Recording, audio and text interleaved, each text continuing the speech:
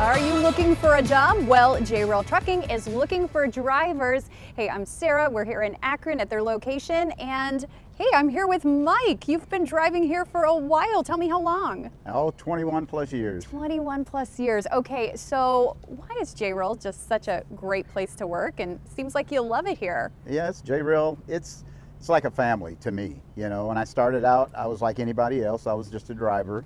But then, you know, getting to know the people, the, the owners, the other staff members here, and you just felt like you were part of something, Yeah. something bigger. So why should someone choose JRayl over another company? Is it the family stuff you were talking about? It would be the family atmosphere because a lot of the larger companies, you're identified by your truck number or an ID number. You know, I mean, there are companies that you can work for, but here you get a feeling of closeness.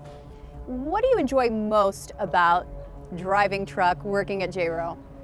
What I enjoy most is always seeing new places. Mm-hmm. Before I became a truck driver, I loaded trucks and I would have to nail up these papers on the side about where these trucks were going.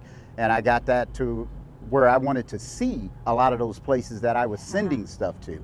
And this was the perfect way to do it. I think that would be so cool. The open road, seeing all these new places. What advice would you give to someone who's thinking about maybe making a career change, getting into truck driving?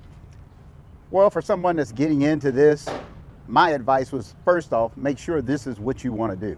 And if it is what you want to do, then you want to get with a company that's adaptable to you or you could adapt to that company. Pretty much the advice I would give them stick with it, learn everything that you can, talk to other drivers. That's a lot of things drivers don't do.